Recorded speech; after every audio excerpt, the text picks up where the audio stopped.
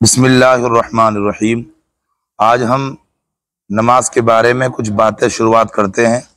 अल्लाह तबारक व ताली ने कुरान पाक में इरशाद फरमाया इन सलाता तनहा अनिलफाशाई व मुनकर।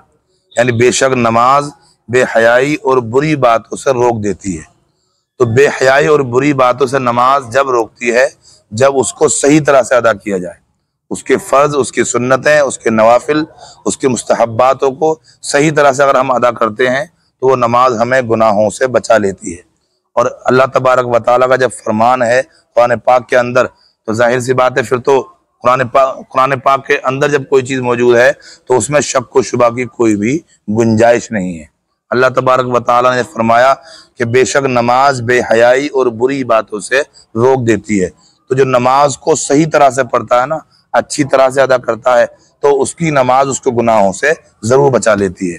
हमें जब नमाज़ हम पढ़ें तो उसके फ़र्ज़ों का, उसके वाजिबात का, उसकी सुन्नतों का, उसकी शर्तों का मुकम्मल ख्याल रखना चाहिए।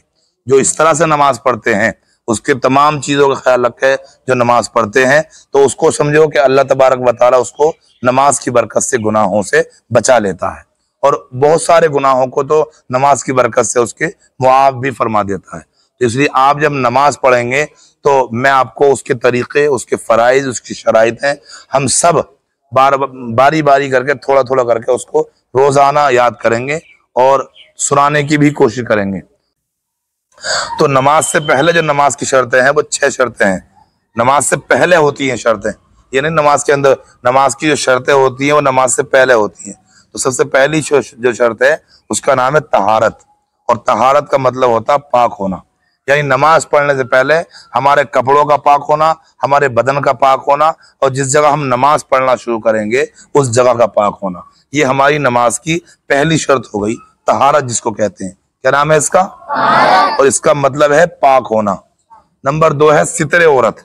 सितरे औरत का मतलब है बदन छुपाना। है नमाज़ हम जब हम नमाज़ पढ़ने के लिए जाए तो हमारा बदन जो है छुपा हुआ होना चाहिए। अगर कोई नंगा आदमी नमाज़ पढ़ेगा तो उसकी नमाज़ नहीं होगी। इस बात से हमें ये पता चलता कि नमाज़ की जो दूसरी शर्त है, वो सितर औरत है, यानी बदन को छुपा लेना। नंबर तीन है इस्तकबाल किबला। यानी जब नमाज़ के लिए हम खड़े हों तो हमारा जो चेहरा है, वो काबे की तरफ़ को हो। काबे की तरफ़ को मुँह करके नमाज़ पढ़ना, ये नमाज़ की तीसरी शर्त है। ये मैं आपको नमाज़ की आज तीन शर्तें बता रहा हूँ और ये आपसे कल को इनशाला सुनी जाएँगी। नमाज़ में छह शर्तें कुल हैं, जिसमें से पहली शर्त आपको मैंने बताई, तहारत, जिसका मतलब है पाक होना। और दूसरी शर्त है सितरे औरत, जिसका मतलब है बदन छुपाना।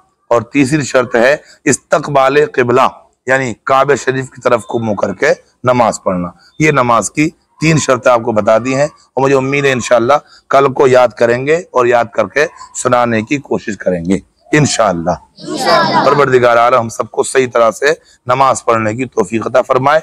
आमीन। बजाह नबी सल्लल्लाहु अलैहि वसल्लम।